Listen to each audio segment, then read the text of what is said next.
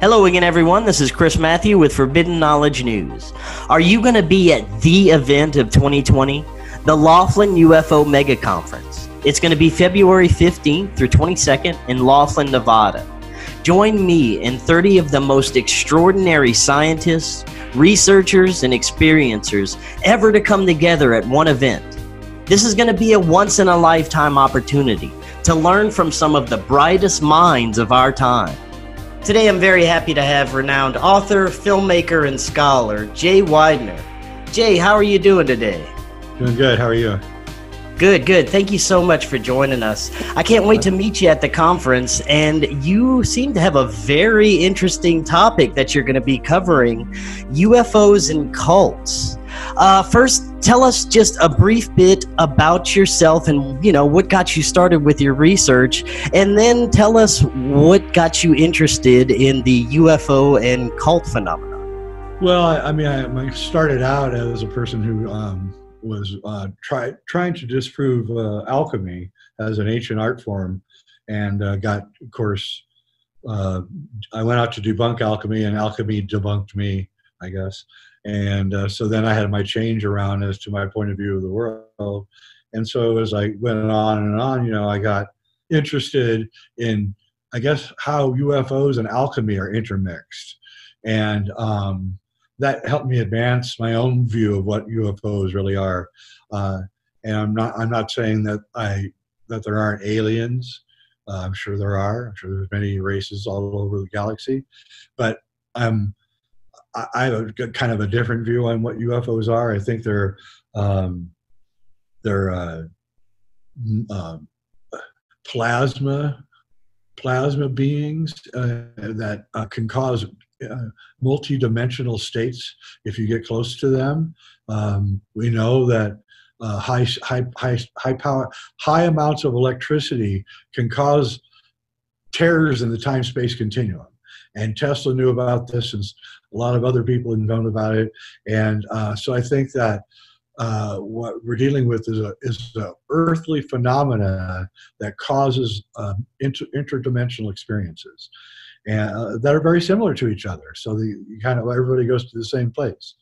But um, what I really got interested in while I was doing this, because of my own personal experiences, is how because of the ambivalent nature of UFOs, and because nobody can really know what they really are uh, for the most part. And there's a lot of disinformation agents going on around the world because they're trying to hide the secret space program also. so they're also trying to paint that as aliens and, and otherworldly objects when they're really ours. So there's a lot, a lot of uh, chess playing going on.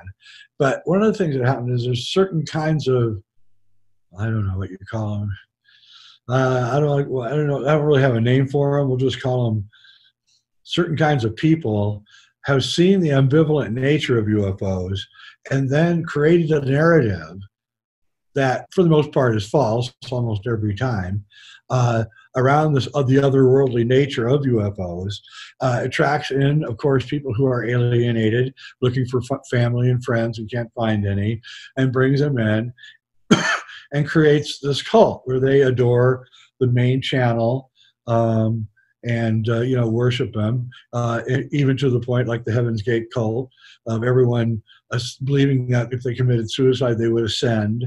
And ascension, by the way, is another uh, uh, one of the fingerprints for finding out if you're dealing with a UFO cult is they always t- talk about ascension, that we're ascending somewhere. Uh, never really very clear, but it's kind of like a, the Christian rapture wrapped up in UFOlogy, which I find interesting how every single cult has this kind of ascension narrative. And so um, we have recent cults that have used UFO uh, also. Uh, we have a president of the United States whose mom was in a, a ufology cult um, believe it or not. And um, and I'm talking a very recent president, uh, uh, and and and he is the.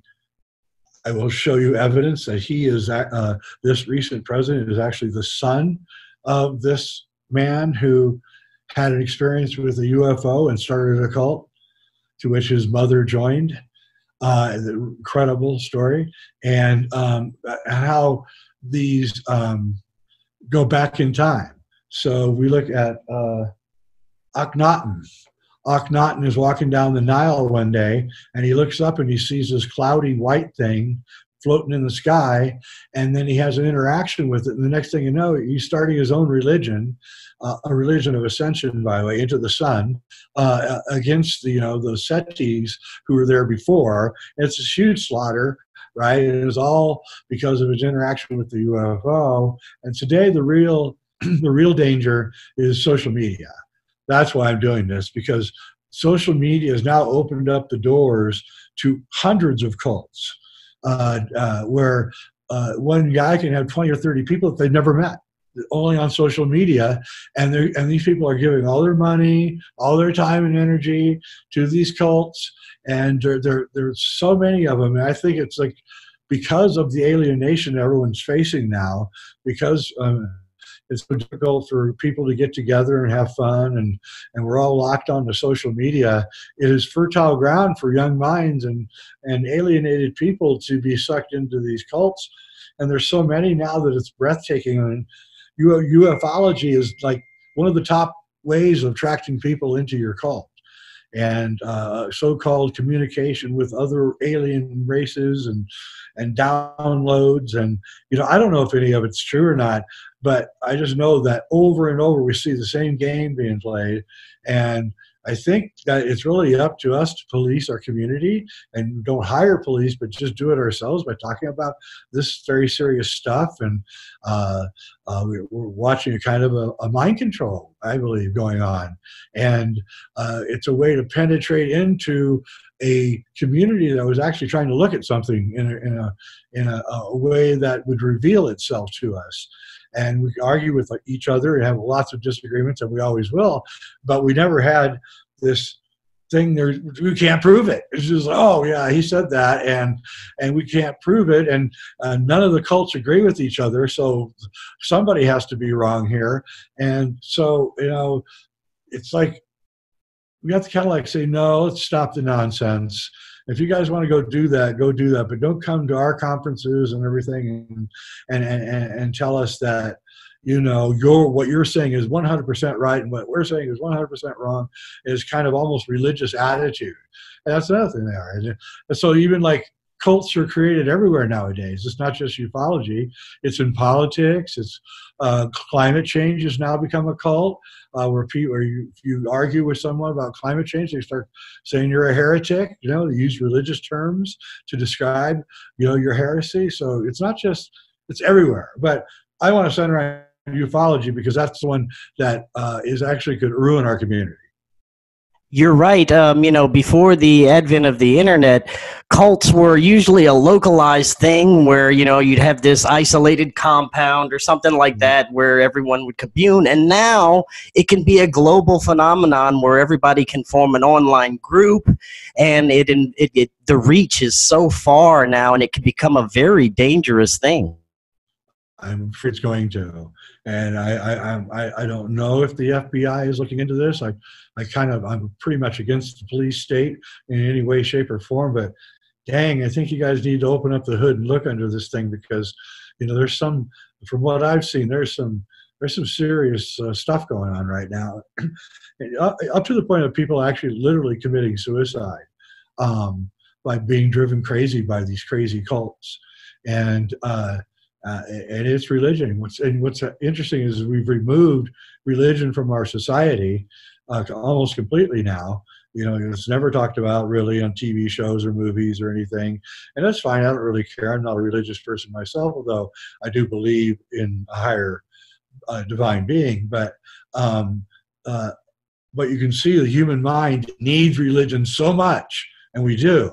We need that sense of community that you find through a shared belief that it can be so easily manipulated and and I think that's where we are right now. The void is being filled by all of these cults.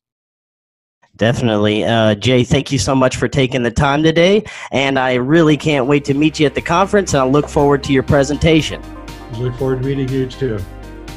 This is going to be a once in a lifetime opportunity to learn from some of the brightest minds of our time, over 30 of them with eight of them coming in from outside of the United States. This is also going to be the world's lowest cost convention. The only purpose is to disclose some of the truths of our mysterious existence. Go to LaughlinUFOMegaConference.com right now to ensure you get your early discount package prices. You don't want to miss this amazing event.